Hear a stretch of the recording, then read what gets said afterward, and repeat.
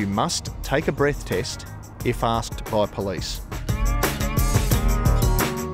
Here in Western Australia, it is a requirement to supply a sample of your blood And stop.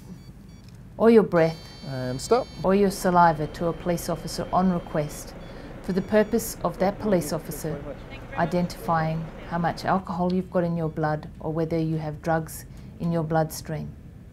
It is an offence with serious penalties to refuse to comply with that request from a police officer.